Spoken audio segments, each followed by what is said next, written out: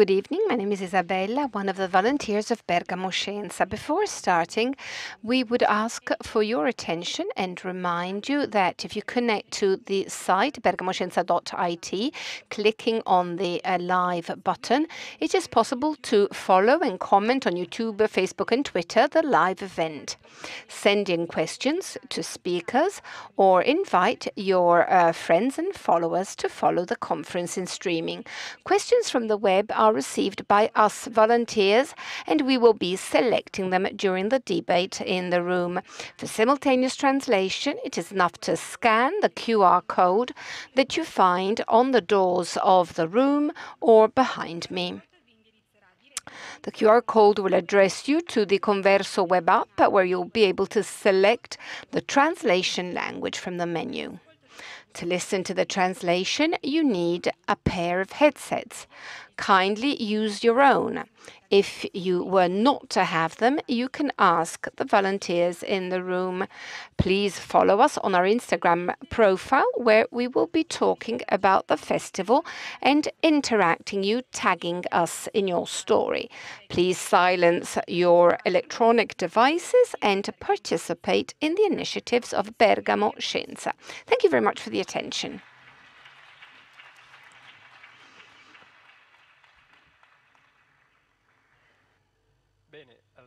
Very well. So I think we can start this evening. Good evening to you all. Thank you very much for being here for this wonderful and very interesting evening.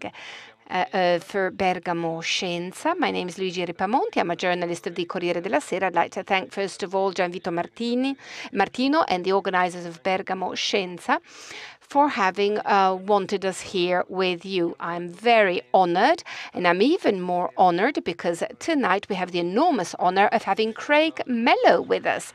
A round of applause for Mr. Mello.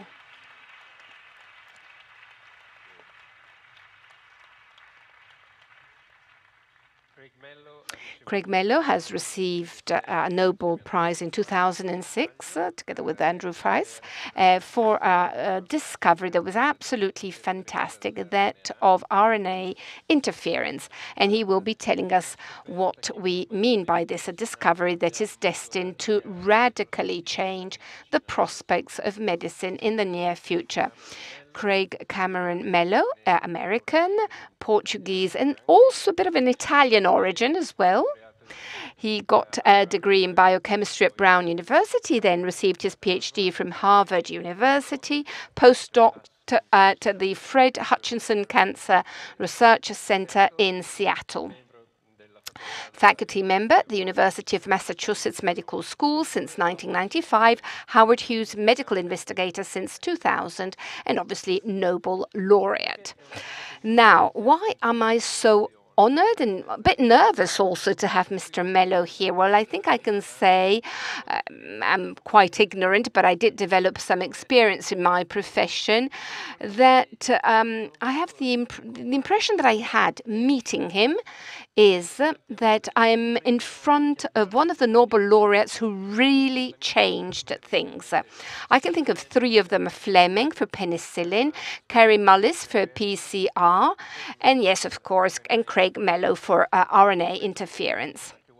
Obviously, we also have Watson and Crick. They did do something in the end. I don't want to say no, but I mean, these three things really, in my perception as a scientific journalist, mean um, that there was a before and there's an after. So what Mr. Mello invented is a technique which uh, is easy, simple, reproducible, relatively cheap, cheaper than others at least, to intervene in cells and do something that's very, very interesting as we will understand. One of the other things I was impressed with, apart from him, very low profile, very humble, very, very nice person, Uh, somebody who really does not show off at all, like all important, truly important people. Well, I, one thing I was impressed by yesterday is this: this thing that we invented was a nice idea. We, I mean, biologists do these wonderful things. We did these wonderful things, but without chemists, we would have been able to do nothing. It would have just been a good idea, but we wouldn't have been able to put it in practice. So I thought about a proverb if you want to go quick, you go on your own. If you want to move fast, if you want to move even faster, you have to do it with somebody else. So this is what Mr. Mello did, uh, surrounding himself with professionalities, different professionalities and skills that allowed this wonderful idea to become a reality. Now, before uh, the interview will start, I'd like to start off with a question myself. Professor, where did you leave your motorbike? because he's touring Italy on his motorbike. Unfortunately, in Sardinia. but I have to say, Bergamo is the most beautiful city on the mainland. that I've seen so far, and I've been to Rome and Milan.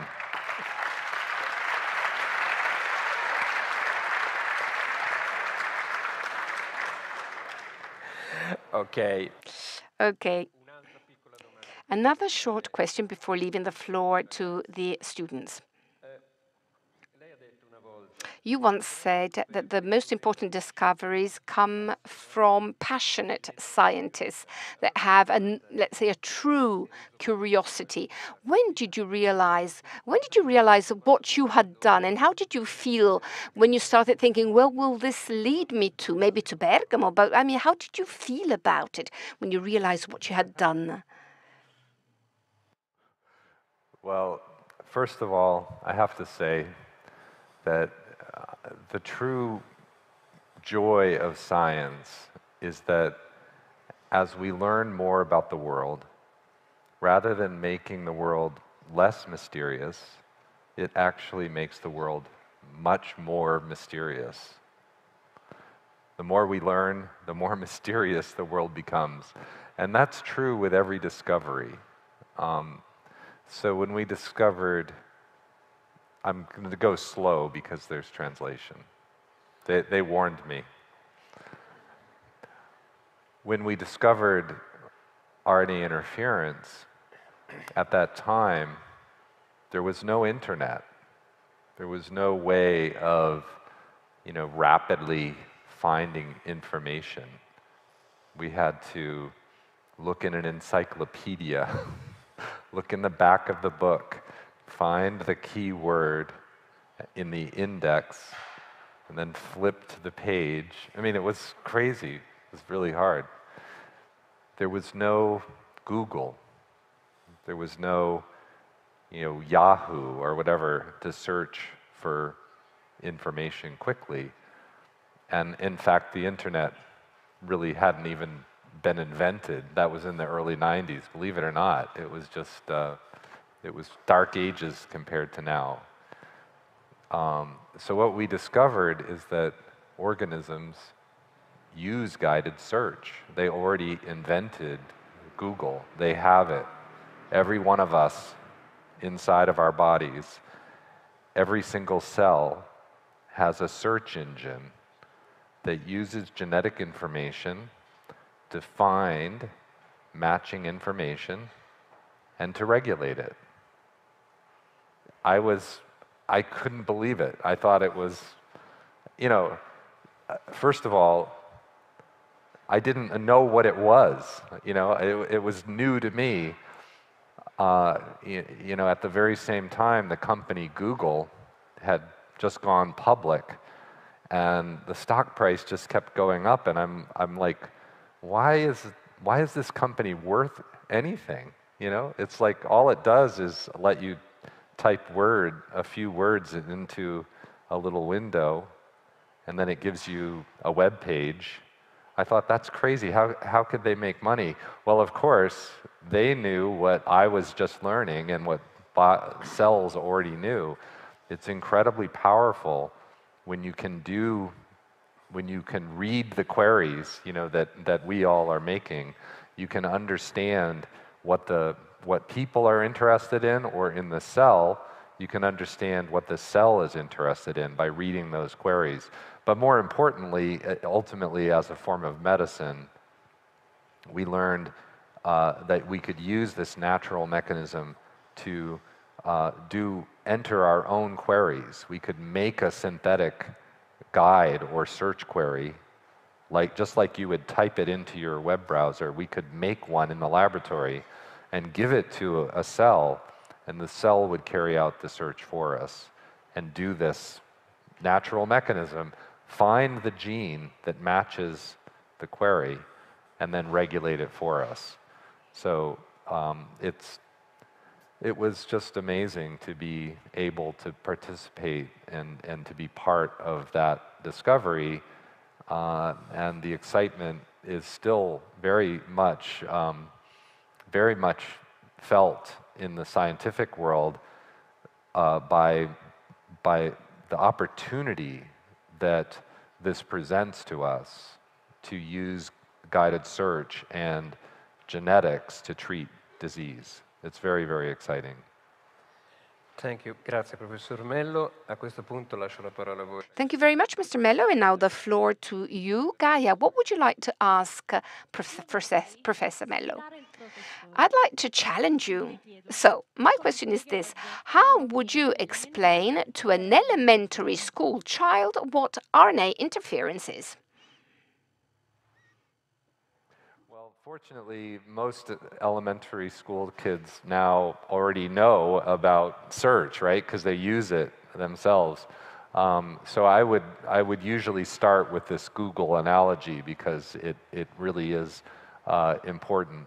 The other thing is even an elementary school child should understand the language of the cell. The cell is, has a very, very simple language. It has four letters in the alphabet, just four. And it has only 21, 20 words, 20 total in the dictionary. The, the words are what we call the amino acids that are encoded by the DNA and the RNA. The RNA and the D, these are words that most people have heard but don't understand. DNA is a polymer. It's, a, it's, a, it's made up of what we, these letters, the four letters, are arranged in our DNA. What makes a human different from a mouse is simply the order of the sequence. The sequ- it's, like the, it's like writing a book. You know, the letters are ordered differently depending on what the book is about. That's how genetics works, except there's only four letters. And the four letters are used three at a time to spell those 20 words. It's, it's just truly amazing how simple it is. And the, the cell, so even a, a third grader can understand the language of the cell. And I think that's what is so great about what you guys are doing is you're trying to make science more accessible to, to young people. So I think we should be teaching our young people, you know, the wonders of science because I think we all as human beings are faced with just sort of the, the whole mystery of, of just being here in this amazing universe and thinking, where did I come from? What is what am I for? You know, what is what is my purpose? I think it's the human condition and science is our effort to understand the answers to those questions. And as I said earlier, it just there's no threat to religion because you deepen mystery when you understand the world better you don't make the world less mysterious. What's, there's nothing mysterious about the Big Bang. I mean, nothing less mysterious about the Big Bang than any other creation myth. I mean, the, the idea that the universe formed from an explosion 13.7 billion years ago. Um, I just find it wonderful to be alive and to have a chance to explore this universe. And the wonderful thing about kids the little ones especially, is they get it. They understand that. And so I love to talk to little kids about science. And they ask the best questions, you know, they really do. So you got to take the time to talk to your three year old about just how wonderful it is. You know, point to the moon and say, tell them what it is. That, what is that object in the sky? It's 240,000 miles away. I don't know how many kilometers that is, but it's, it's, it's pretty amazing, you know. So I love, I love that interaction with kids, and it is a challenge, but it's mostly because the language that we use has too many words that you know people just don't understand. What is RNA? What is it? What does it look like? You know, what is the molecule? And it, it's got you know, these features to it that allow it to build that beautiful staircase helix. You know, RNA can do that, DNA can do that because they are made out of these, these beautiful stepping stones uh, that we call nucleotides that match up like lock and key and can form this sequence. And the beauty of it is that one strand can determine or essentially specify the matching strand exactly. So I think kids can, I think they can understand this. It's not that complicated. Unfortunately, we, we, need, we really need to do a better job of educating people. And that's what I love about Bergamo because you're doing it. This, this is truly a unique festival that you have. I love it. I really love it. And I'm especially thankful to the kids, you guys, who make it happen.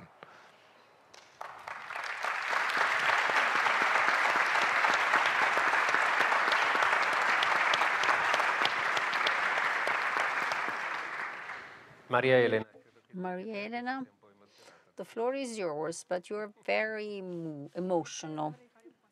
I'd like to take a step backward and ask you, what were the projects you were working on when you got to this wonderful discovery, and what uh, triggered the eureka moment?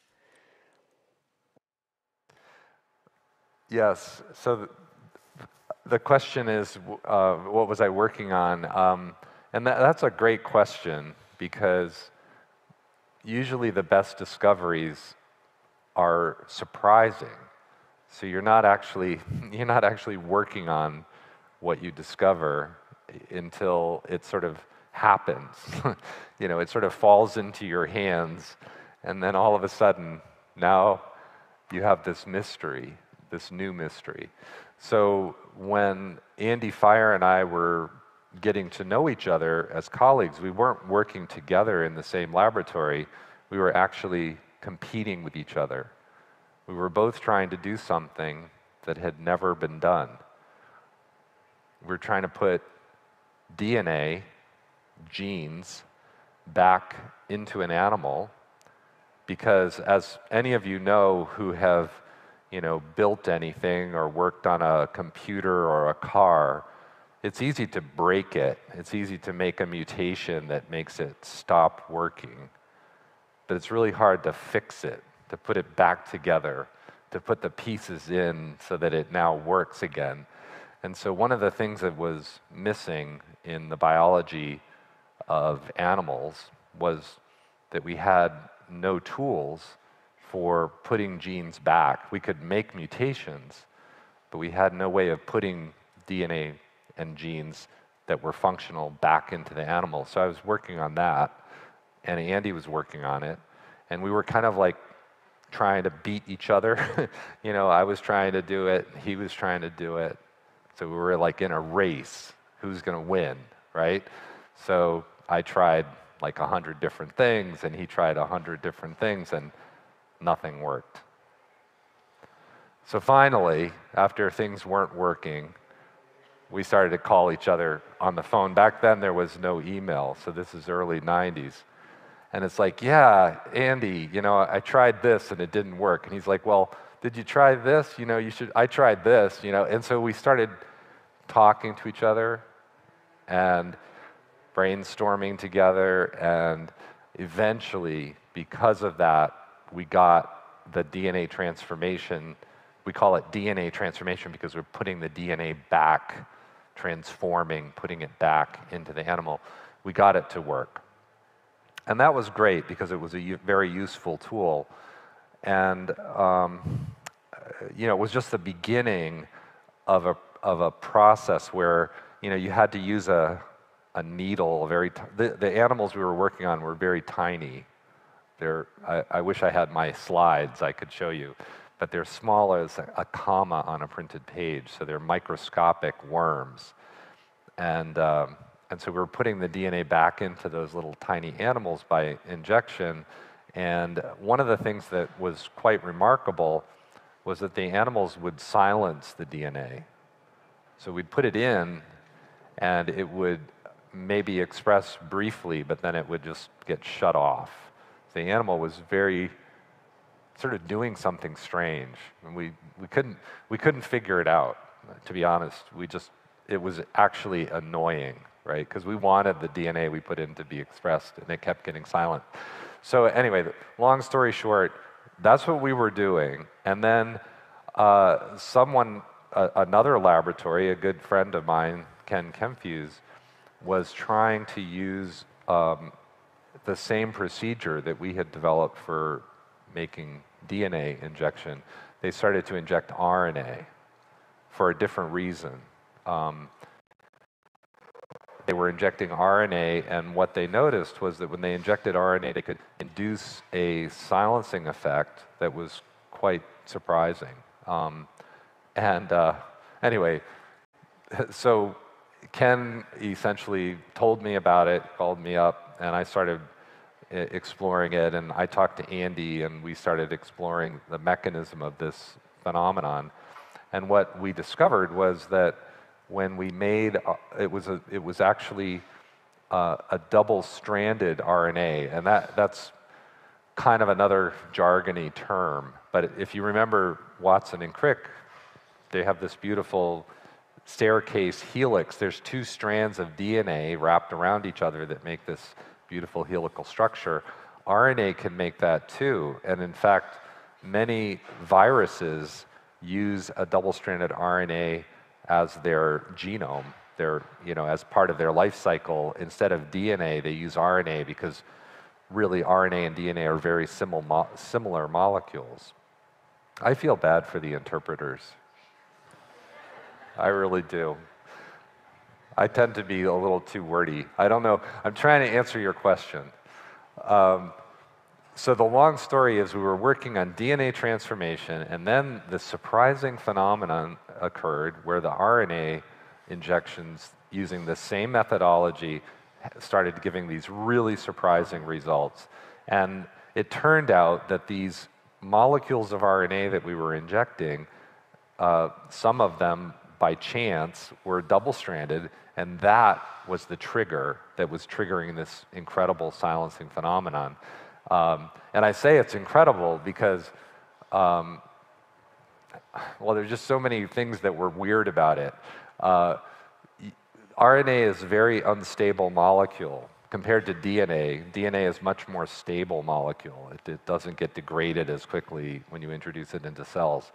And yet, when I was teaching my student to do these experiments with RNA, I watched the student who'd never injected before accidentally inject the animal into the gut instead of the germline. And we knew that the, in order to get the silencing, the gene that was being expressed was in the germline, the, gon the gonad of the animal, and he missed. He injected into the intestine. And uh, despite the fact that he had missed, you know, I was being a, a nice professor, so I said, nice try, you know, we'll check tomorrow, see if it worked, uh, thinking it wouldn't work. And of course it did, it still worked. Even though he had injected the RNA into the wrong part of the body, he got silencing uh, in the, the, uh, the germline of the animal. So it was an amazingly, surprisingly robust response. So the animal was responding to the injected material, and it was, it was like a, it was, an, it was clearly an active response. So we were giving information to the animal. The animal was taking the information and disseminating it throughout its body, like spreading it to, from one cell to another. And a- after the spreading of the information, it would then silence the corresponding gene that matched the information. So imagine that you could do this with the internet. You, you could make a search query in Google and search for a web page, and then your query would destroy the web page, so it would be gone. It'd be kind of nice if you could do it. Could you imagine? If you, you know, maybe people can do that, some hackers can do it, but cells can do that. They can actually use a search query to find information and then destroy it. That's how they regulate gene expression of, at the level of the RNA. They don't destroy the RNA, I mean the DNA, the DNA copy is still there, so the gene could still be expressed in the future, but they destroy the RNA, which is like the software that's running in the cell. That's what's making your cell do stuff. It's like the RNA is really, that's the exciting part of the cell. That's the, you know, if, I, I got to say that when, to Watson once on the 50th anniversary of the double helix. He was in the audience, and I, I got to say that RNA is much more interesting than DNA.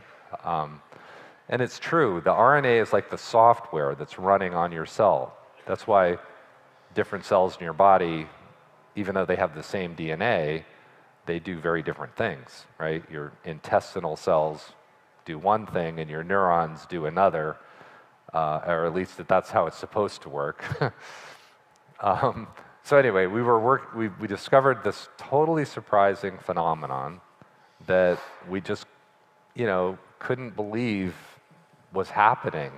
Uh, there was something going on where, you know, the RNA that we were giving to the animal was triggering, uh, like almost like an immune response, where the animal took the RNA, used it to search for the information that matched the RNA, and then eliminated it.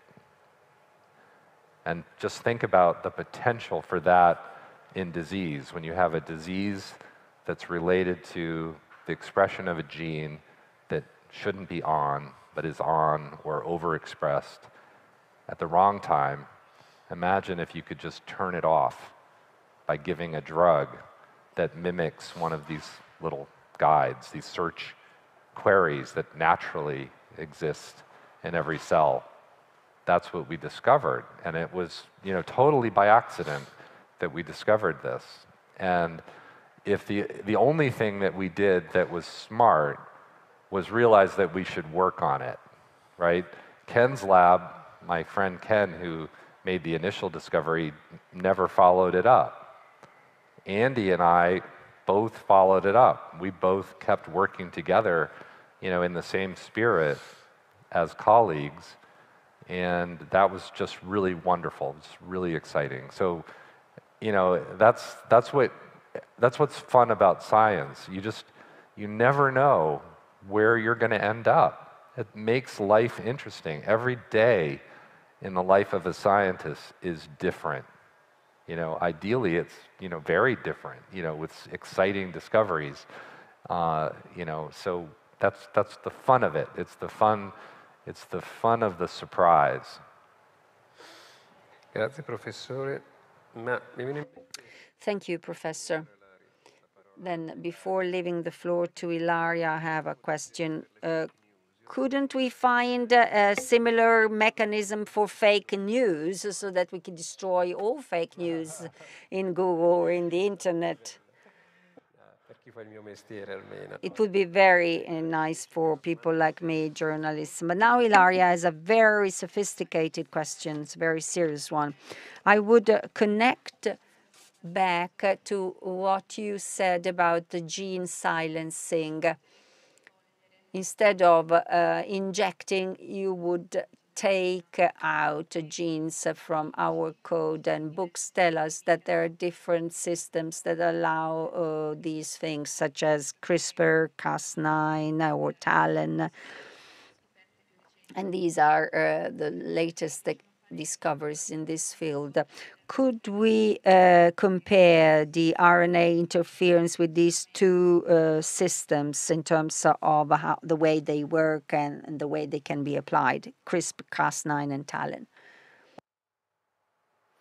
That's a great uh, question. The, techniques that, that she's referring to um, use, um, they actually target the DNA instead of the RNA. So the big difference is that with CRISPR, for example, you've got a search engine protein. It's a protein that you know carries out RNA interference. In the case of RNA interference, we call the protein an argonaute. In the case of the CRISPR system, we call the protein, you know, various Cas numbered 9 or whatever, 12, 10, whatever.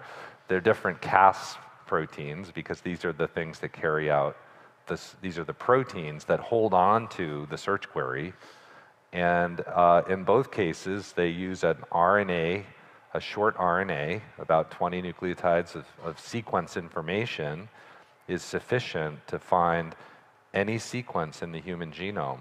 It's kind of like you only need to type in a few words into the Google search window to find anything on the web, right? You can find the play by Shakespeare, Macbeth, by typing to be or not to be. That's all you need, and you're going to find the whole thing. So cells do the same thing. Bacteria have this really uh, fascinating, wonderful search uh, and um, search mechanism that carries out guided search and regulates DNA by cleaving the DNA, and that's how it works. It cuts the DNA. And it's a powerful technique. It's wonderful, uh, and it's transformed uh, biology in the last um, almost 10 years, nine years now since the, the major discovery. Um, so I don't want to take anything at all away from CRISPR as a system, but it's got a lot of disadvantages for therapeutics mainly the main disadvantage is that the, the catalytic, the enzyme that carries out the, the search doesn't exist in humans. So in order to use CRISPR therapy, we not only have to give the search query, we have to give the enzyme. The Google doesn't exist in the human, so we take it from the bacteria, and we have to give the human the CRISPR protein or the gene that expresses the CRISPR protein. And then the human cell can do this guided search, and then it will find the target, make the cut, and you can do various things now that, that change the DNA. You can also do RNA editing. Uh, you can do editing using the DNA uh, CRISPR system as well. It, there's a lot of wonderful things you can do, but the big disadvantage is that humans don't have that particular type of search engine. Humans have argonautes. They have several of them in, their, in our genome. We have these enzymes which will take a, an RNA guide and carry out a search for RNA. And so the nice thing about our RNA interference mechanism is that it, it's already working in all of our cells. So all we have to do is deliver this short RNA molecule and once it gets into the cell, it can carry out the search for us without the need for anything additional. The, you know, there's other things, I don't want to get too technical, but basically RNA interference is taking advantage of a natural mechanism with an, a short query as the drug. And there are already approved drugs in humans based on the, the technology. There are approved, approved CRISPR therapies as well, or they're moving along even uh, now. They've been tested and working in the human. But um, I think the promise of, of the RNA interference mechanism is really that it's already working in all of our cells. So all we have to do is make these guides, and uh, we have a drug that will target a gene. I hope that answers your question. Grazie professore. Alice, tocca a te. Uh, Alice, it's up to you. I have a question which is a bit more general, uh, so it's a bit different from the ones that have been asked up to now. Today, we are called to meet and address challenges that can be faced only thanks to science. Think about the pandemic, uh, climate change, uh, the energy crisis, diseases such as cancer. But I think that to tackle these problems, it's very important to have a mass scientific culture that we still do not have. Now, do you think that a Nobel laureate can also have the role of becoming like a science witness and help spread this um, scientific mass culture? And how your daily life has changed after receiving the Nobel Prize? I love that question. It's a great question. Um, it's a I think there's a good answer. You know, I, I don't think it's that complicated. Um, one of the things that I think is so beautiful about science is that I don't think it, you know, science is just the way, it's, it's just another word for the way that people learn things, right? And it, everybody is a scientist. Everybody who learns anything is a scientist. And ultimately, what's so beautiful about science, and I just want to like say, say a quote from Richard Feynman, which I think is so wonderful. He says he'd rather have questions that he can't answer than answers that he can't question. And I, I think that's Richard Feynman. He's, he's a very funny guy. Uh, wrote some several beautiful books for a lay audience. I encourage people to read his books because it's a good window into the sort of the scientific mind, if you will. But the, the point is that what scientists do, what science does, and I think it's just the way that humans learn. It's, it's how we have always learned. It's how everything about human culture ever got figured out. It's how the horse got domesticated. It's how the wheel got invented. It's how the first crops, you know, like corn and wheat, got domesticated. It's by doing this very simple process gather information, test it out, and try to use it to disprove what you believe. For example, if you think it's not safe to ride a horse, try to ride a horse, right? See if it's safe. See if you can make it safe. Maybe you can make it safe. Maybe you'll die. but, but that's science, right? You try stuff and you gather all the information. So it's, it's actually really simple. What people are doing wrong is they're taking what they believe and then they're searching for information that supports what they believe. They're just using the, the whole, all of this information. You know, I thought information should be liberating because I'm a scientist. The way I use information is I gather the information and I try to use it to disprove what I believe. That, that's how I learn new stuff. And when I disprove something I believe, I have learned something. It's great, it's exciting. I've, my whole career, everything, every good thing I ever discovered was because I disproved something that I believed. It's how you learn stuff, it's how everybody learns stuff. I mean, there was a time when everybody, everybody would have said, it's not safe to ride a horse. Stay away from horses because you'll get killed, they'll kick you, or whatever.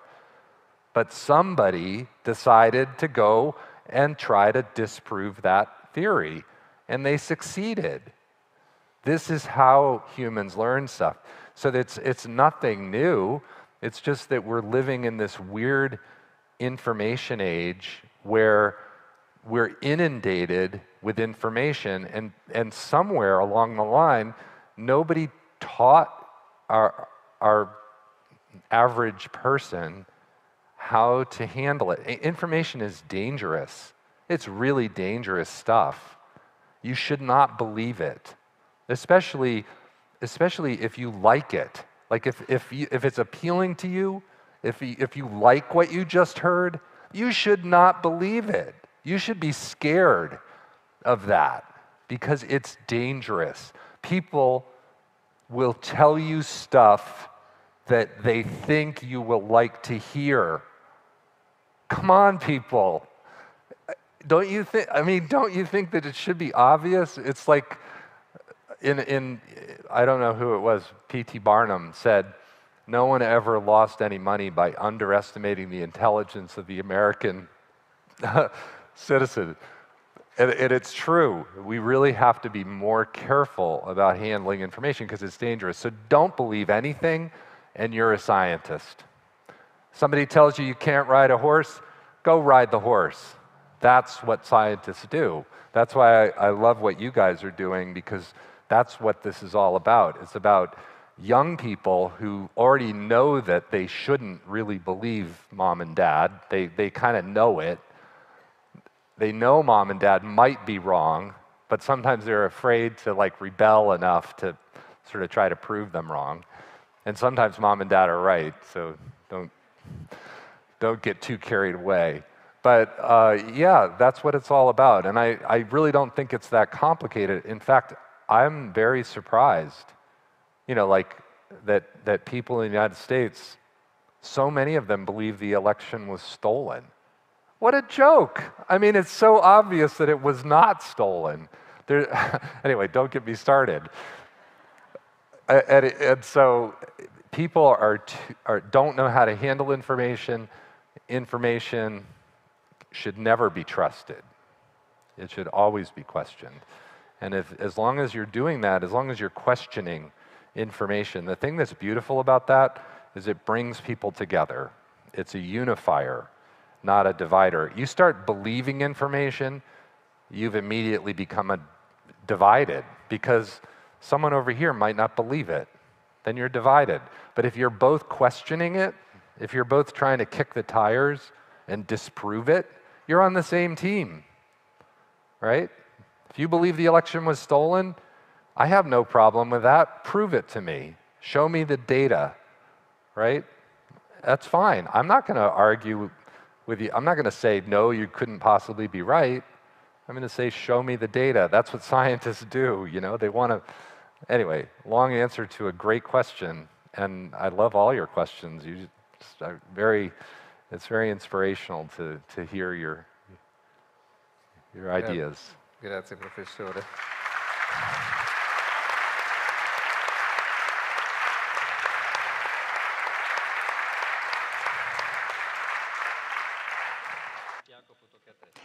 Jacopo, your turn. I hope I can rise to the occasion. I mean, it's. Well, anyways, I want to go back to what has been said in the answer to the first question. That is the concept of science as a, a wonder, a constant discovery, the awe, the, the amazement, the wonder of this discovery. I admit that for me, this is true. Science has always made me curious and still fascinates me now. What I would like to ask you is this um, Would you have any tips, any pieces of advice on how to transmit science, not only the important scientific concepts, but this wonder, uh, this passion? Is there any way that can be that you find useful, a good way to convey this? And another thing is how can we do this? I mean, how can we make science, let's say, more pleasant, more appealing? Without obviously neglecting something, without risking to, let's say, to forget uh, complicated concepts as well, which are important. That's that's another really great question, and uh, you know the the real challenge with science education is that science is about doing. You know, it, the horse riding example is a great is a great one, right? You got to do the experiment. You can't just sit there and look at the horse and try to figure out if it's possible to ride the horse. You got to go do it, right? So the way you really learn science is by doing science. And I think one of the things that we should be doing is getting our younger kids engaged in science in more meaningful ways um, at an earlier age so that they get to experience the discovery process. Um, and I do think that a lot of a lot of educators are trying to do that, and, and not just doing experiments that have already been done and repeating them in the laboratory, but um, maybe doing something totally new. Um, there's there are uh, really great, you know, uh, I, I forget the name of the group, but I think they call it the phage hunters. They basically go out and they dig up soil, and then the kids come back to the laboratory and they t- take the, the soil and they put it onto bacteria, and if there's a virus in there that can infect the, the bacteria, it will, it will kill the bacteria in, in the place where the virus was put down into the, pl- the petri dish. And you'll get this little circle where all the bacteria are dying, and then you can take the, the cells from there and you can put them under a microscope or you can do PCR in various techniques that are, that are available, and you can actually identify the virus. You know, some, things like that, where the kids get their hands on discovering something new.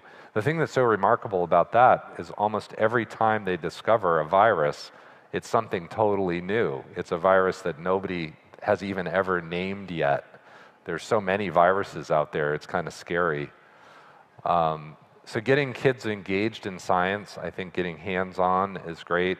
Trying to figure out ways of breaking the jargon barriers. You know, we we use so much jargon in science. You know, getting them simplifying the concepts, and I, and I don't have the answer for that. You know, I think some level of knowledge is necessary. So uh, it, it's unfortunate that we have to teach kids, you know, all of this, you know, terminology. But I do think what they'll they'll learn it better if they're doing.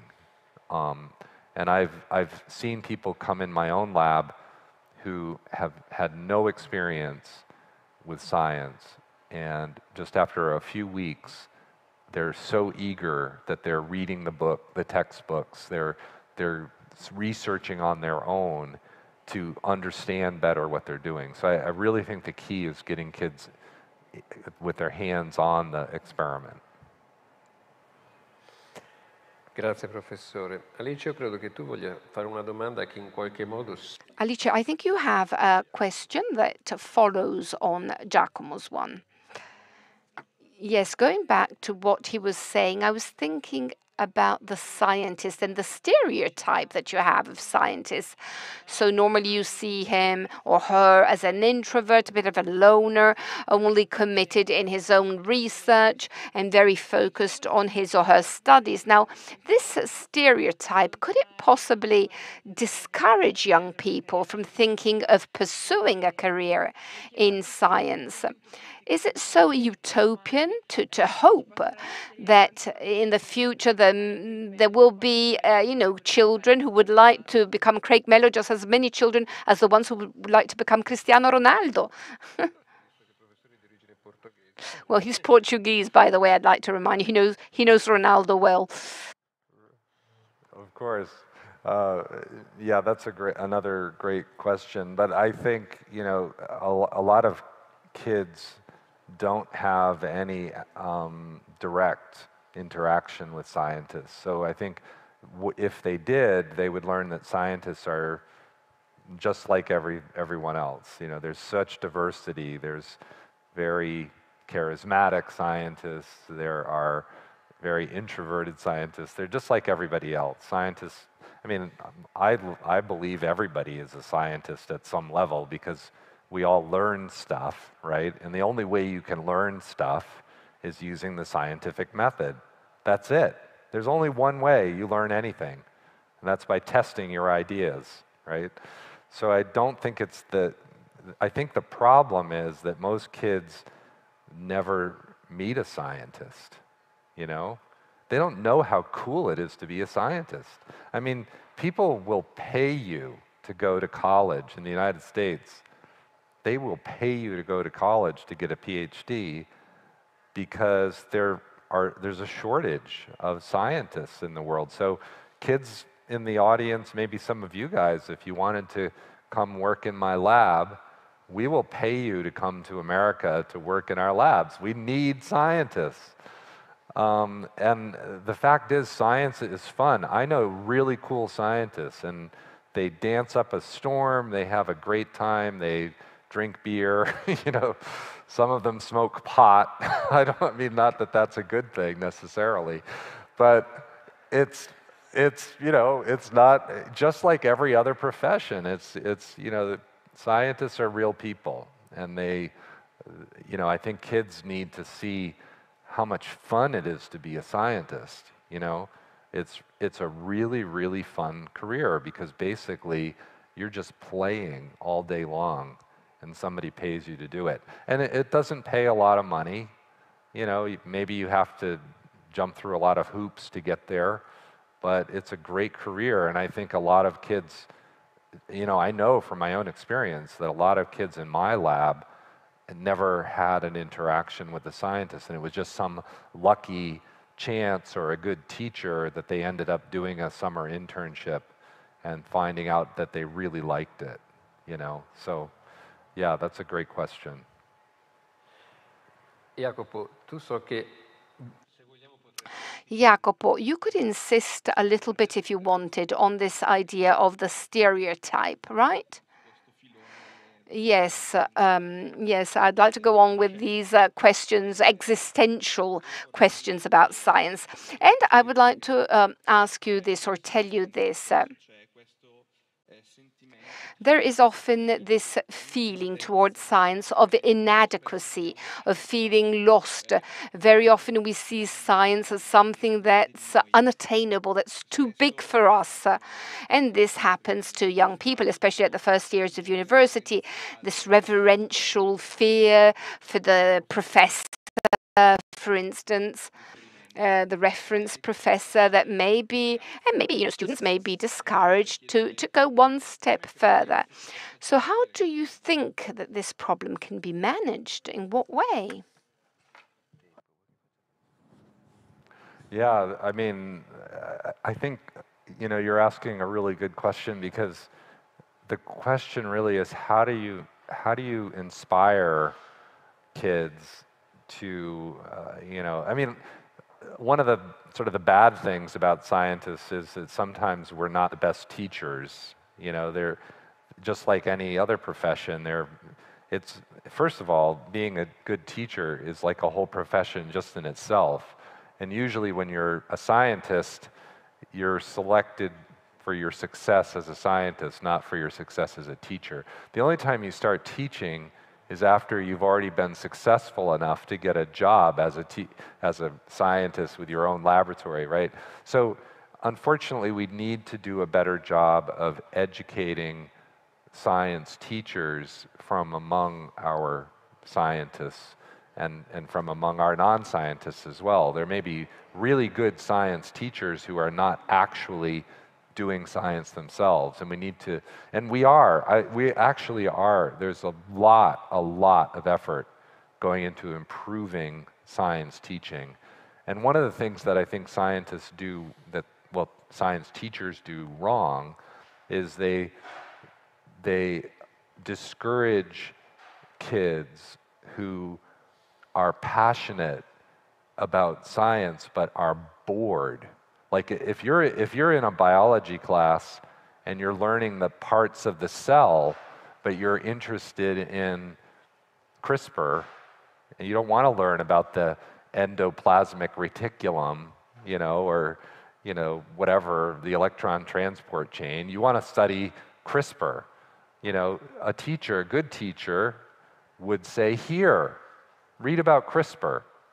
Go ahead and then you can tell the class about it you know? And uh, i think i had some teachers that did that you know when i was bored with what was being taught um, maybe because i knew that subject pretty well and I, I felt it was dull. They, they gave me something else you know? They said what about this? You know you're interested in this read more about it. So we need to be more creative uh, you know and I, I don't have a, all the answers at all. I'm just saying that I think a lot of effort is going into that. So I do think, uh, again, I think that's solvable.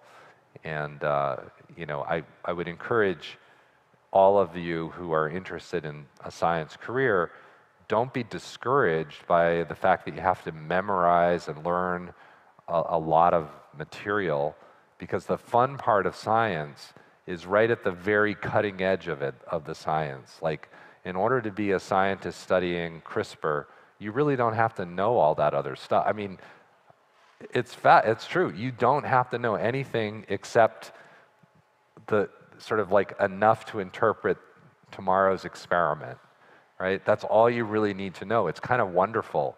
It's kind of, you can even like, and we all do, you know, you forget a lot of the other biology that you learned in school because you're not using it every day in your laboratory, right? You don't have to know all that stuff. And yet, when we're teaching our kids, we try to cram it all into their head, thinking that that will make them a good, stu- a good scientist in the future or prepare them for becoming a medical doctor.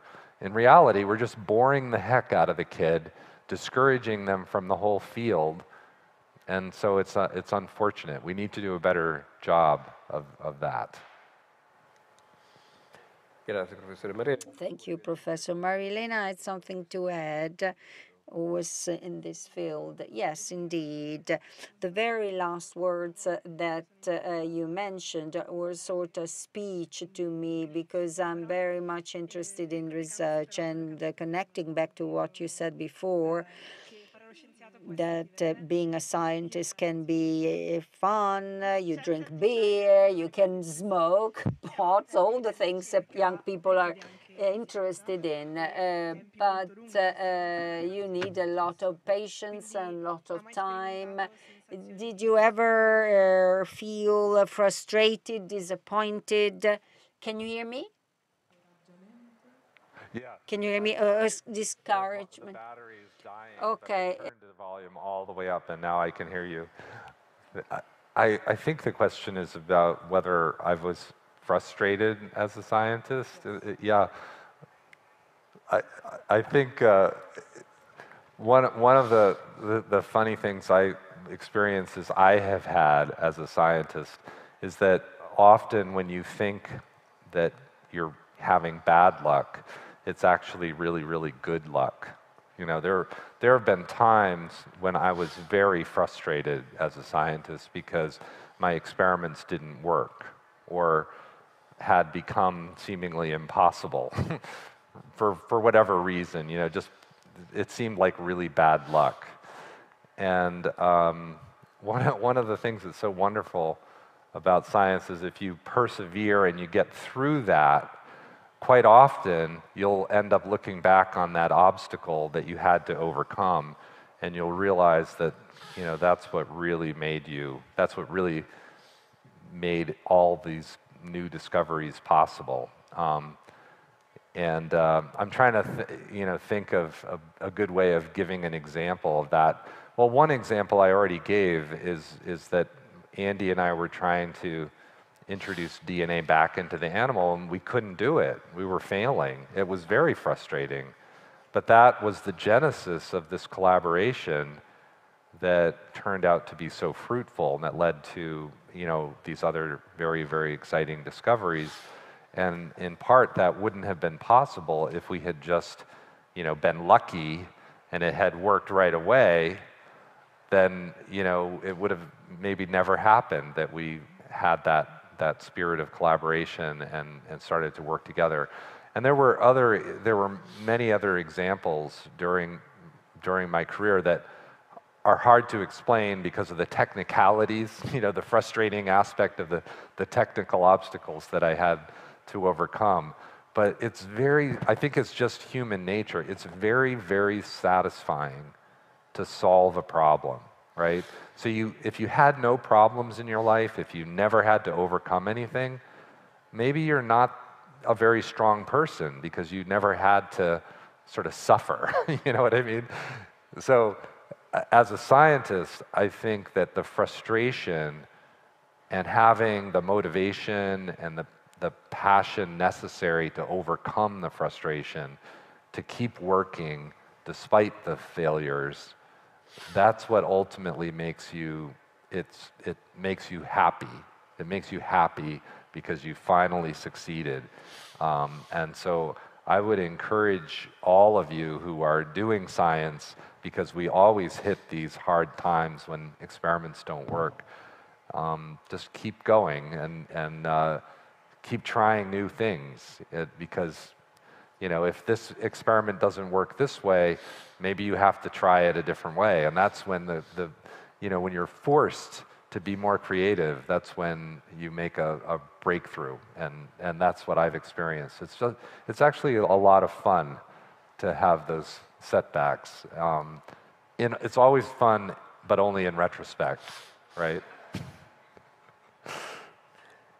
Bene. Fine. Uh, now, Gaia has a very interesting question. We spoke about uh, research through Marielena's question and also about the future. I have a question on the future of research and its consequences. As of today, uh, transgenic uh, gene uh, therapies is used only in certain fields. What could be the uh, hindrances that could be overcome by research and medicine to find new uh, treatment target thanks to RNA interference and all what followed after the discovery? Mm-hmm. Um, I think I understand the question. Um, the future of medicine is extremely bright, and it's for the following reason.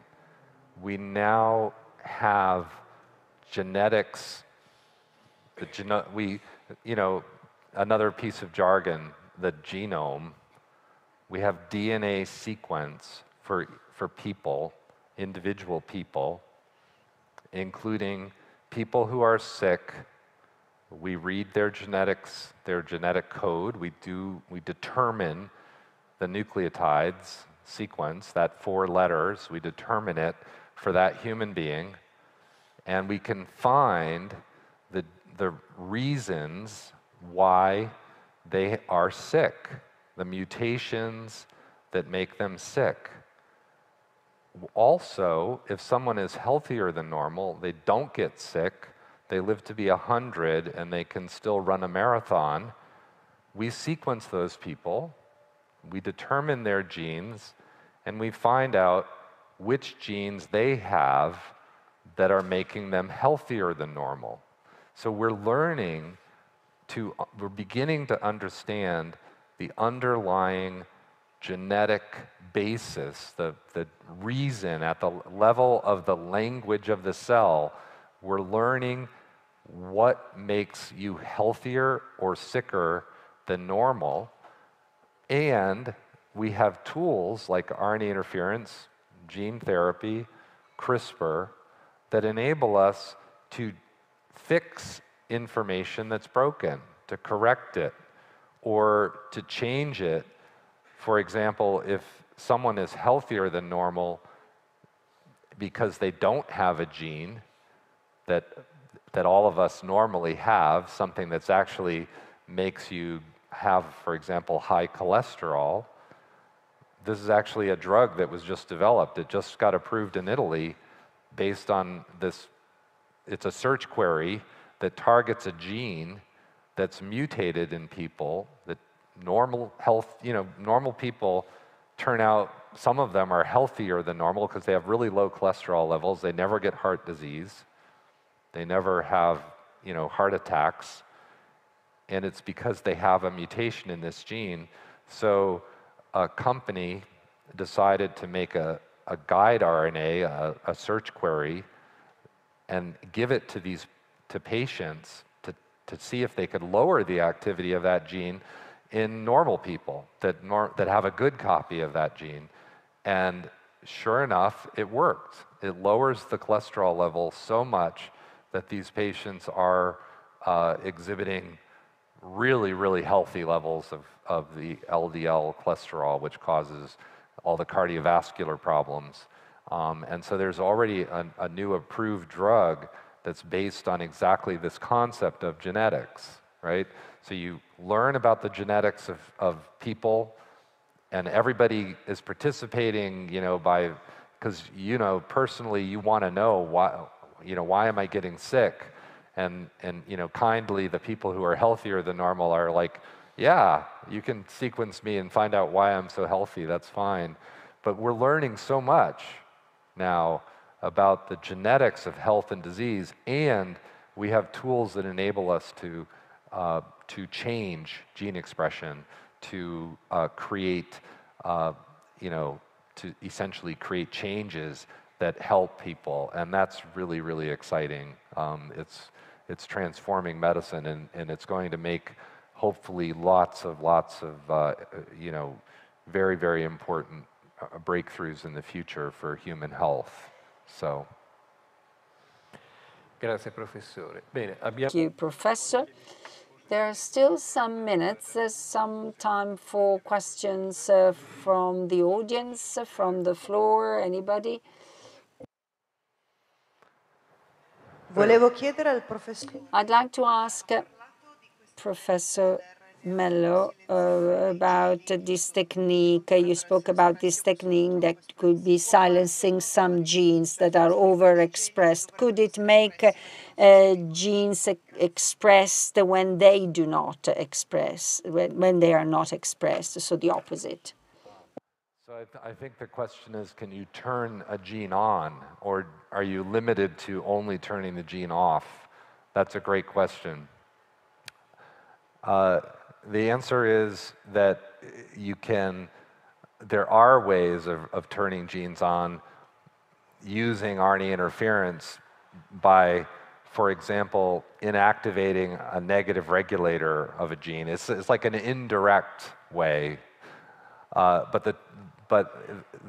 this type of drug works best in directly inactivating gene expression. It's a silencing pathway, mainly. It's not an activating pathway. However, you know, there are ways around that because there are many genes that regulate other genes, so eh, you can take a, a, a you can target a gene that turns normally turns a gene off, and when I turn off the negative regulator, now the gene comes on. So there are ways around it, but that's a great question, and um, one of the limitations of RNA interference is that it mainly is a way of interfering, of stopping. So if you want to repair a gene, replace it, you might need to use something called gene therapy, where you take a copy, a good copy of the gene, and you give it back. You put it back into the person. Um, and that's also possible. It's a it's a type of therapy that's already working, and in fact, it was one one of the therapies that was first tested and developed here in Italy. And and uh, so it's, it's a very exciting uh, tool, and in fact, that's what Andy and I were working on. You know, putting DNA back into the animal is the way. It's the sort of a straightforward way of fixing a broken gene, is to actually fix it, right? But with RNA interference, we can turn off a gene that might be overexpressed or is causing or contributing to disease through its expression. So it's great because, you know, this is what I was saying, we have lots of tools now. It's not just one thing, it's using all of the tools that we have that are enabling this real revolution in medicine. Altre domande? Are there other questions?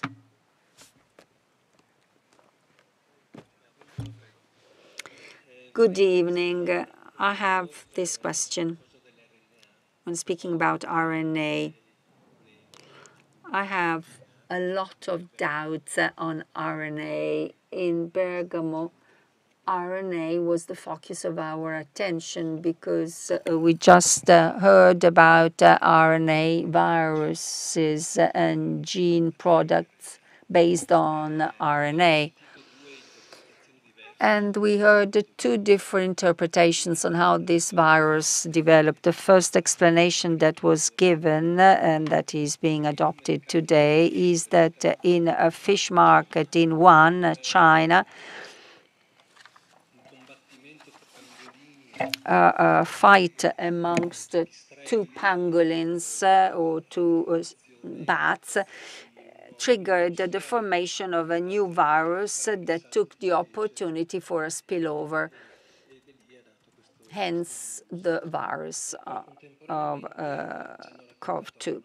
But they also told us a different thing. They told us that in Wuhan, simultaneously, there was a laboratory where emerging diseases are being studied, and when there was a director, Shi Zhengli, uh, probably this is her name. Anyway, uh, together with uh, a U.S. researcher, she is studying bat viruses, so much so that she is called the Bat Woman. A lot of research has been carried out, and it seems that uh, a recombinant DNA, a virus, sorry, might have escaped this laboratory.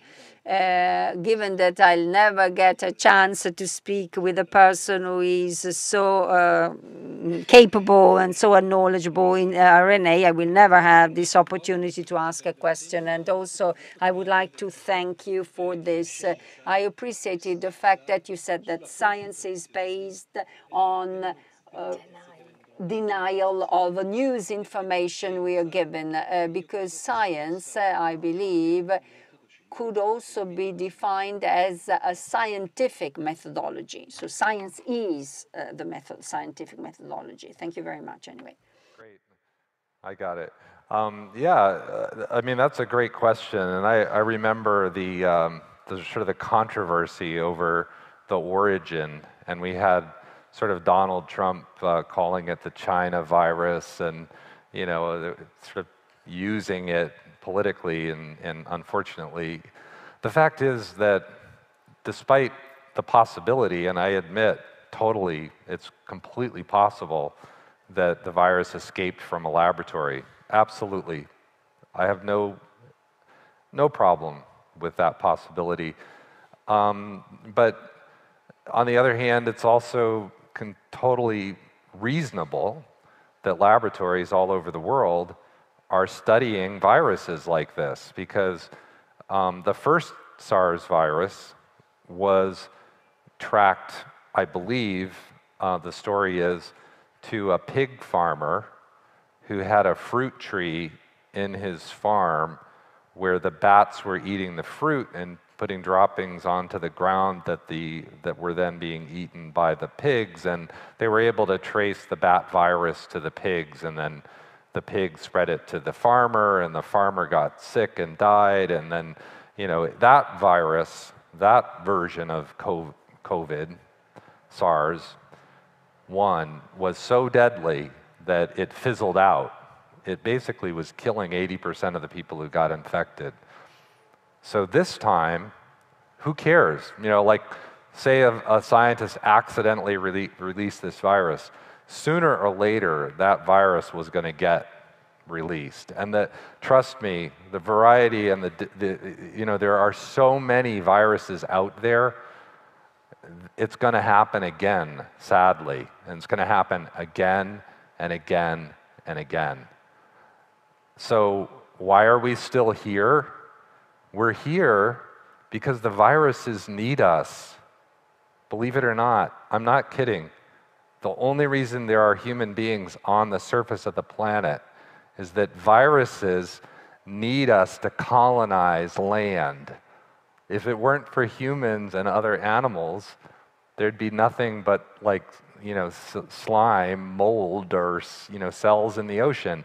Seriously, viruses are part of the, the ecosystem within which we all live. We've evolved with viruses our genome is 50% viral DNA, you know, in one shape or form or another.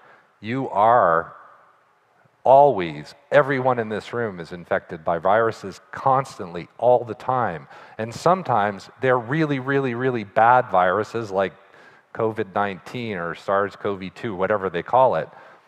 Or, and sometimes they're just, you know, run of the mill average viruses. There's a, there's a funny movie not funny, a sort of horrifying movie called Contagion, I think it is, where they're talking about an outbreak of influenza like bird flu. And the, the um, military guy sitting across from the, from the scientist says to the scientist, Could this be weaponized? And the scientist says, Yes, the birds are already doing that. And that's really the truth is bats, think about bats they are a communal organism.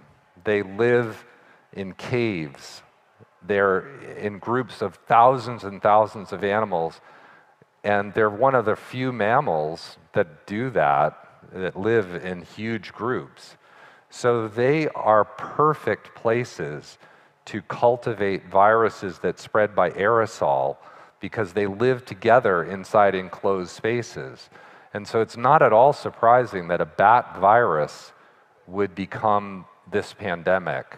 that it was spread by aerosol and therefore extremely dangerous and, and you know, so whether it was a, escaped from a laboratory accidentally, even, trust me, you don't need humans to, you know, and if a human tried to make this virus bad, it, they'd probably botch it up. It wouldn't, it'd be much less effective than it was uh, in nature, right? I mean, it's not easy to make a, a virus. Viruses are shaped by evolution over millions of years, and they're really, really good at what they do and there are just so many of them.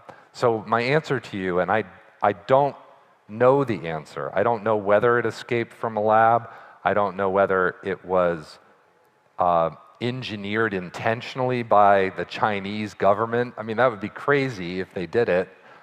Uh, and trust me, if they did something to the virus to manipulate it, they'd make it less fit, not more fit. So humans, we're not, we're not that smart at engineering life. We're really not. When we mess around with living things, we usually make them less fit. You know, corn, for example, was domesticated by hundreds and hundreds of years of selection. Corn cannot grow in the wild. It needs to be cultivated by humans because we've made it less fit. So, again, even though I admit that it's possible that scientists made this virus, I think it's much more likely that the bats made it and that it escaped either from a laboratory or from a food stand and jumped to humans. And that's the, the fear that we all have to face. Bats are incubating viruses right now that are probably way worse than this one. And it, it's not at all impossible that we will all be, you know, and I mean all of us, lining up again to get vaccinated, eagerly hoping to be vaccinated because of another pandemic. So we're very fortunate that we have the ability to make vaccines now quickly using mRNA, which is a different kind of RNA than what we were talking about today. But mRNA vaccines wonderfully can be designed quickly as soon as, you know, in fact, uh, within about 30 days after the first person was infected uh, or died from COVID 19, we had the sequence of the virus. And because of the technology that had already been developed in laboratories around the world, we were able to synthesize the RNA for the virus, encapsulate it so that it could be delivered into the, the muscle of a human and thereby create this, this vaccine. That was, it was easy to put that together. Within three months of the first, you know, the first person dying, we already had the RNA ready to go into humans to vaccinate them. Of course, we had to ramp up production, but we'll be ready for the next one. That's the good thing. The bad thing is the next one could be a lot worse. This one was bad. But you know, just think of how horrible it was. You know, some of you might be old enough to remember polio when it was an ep- epidemic. It's still in the world, um, but polio was scary because it killed our children.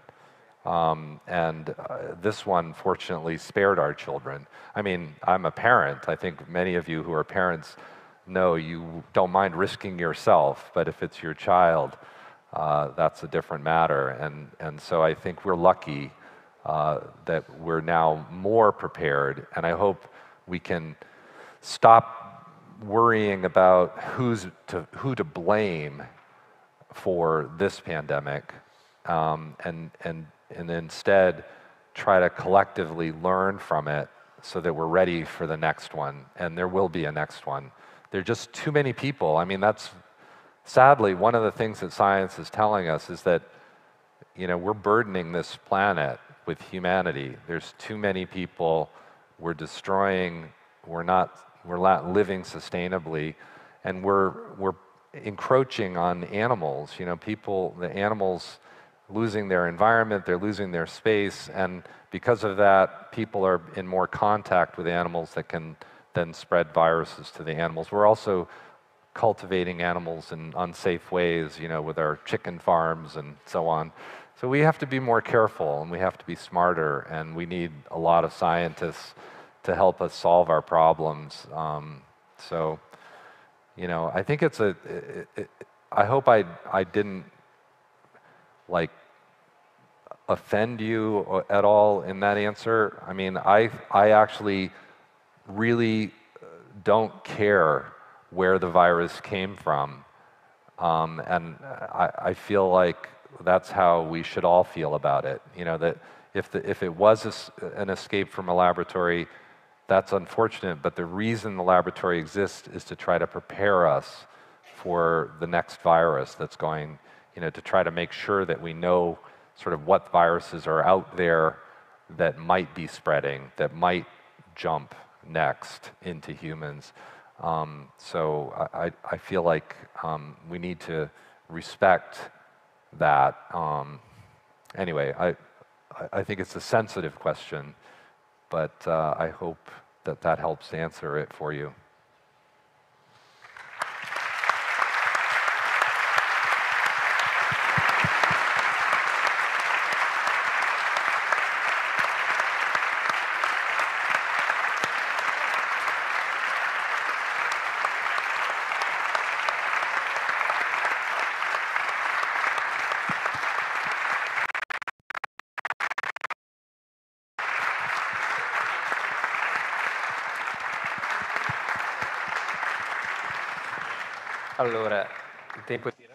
Very well. Time flies, but uh, we would like to. We have to close, and we would like to close with something that hopefully you will like. Uh, I said the proverb, "Who wants to go far has to go with somebody." If you want to go, uh, you you you you went very far and you brought us very far. But you like speed, not only because you drive a motorbike, but even because he's very affectionate to this female mythological person who went very rapidly, that you know very well in this city. So to close this evening, please, uh, Jacopo, if you can do what you're about to do. Uh, this is from our Bergamo's football team, the Atalanta.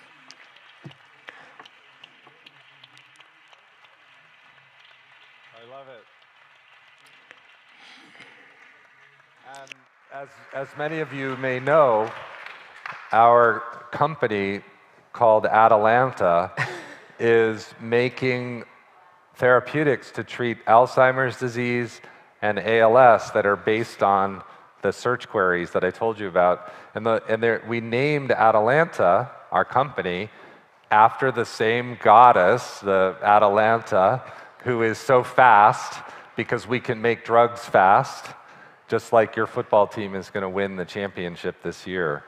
So, thank you.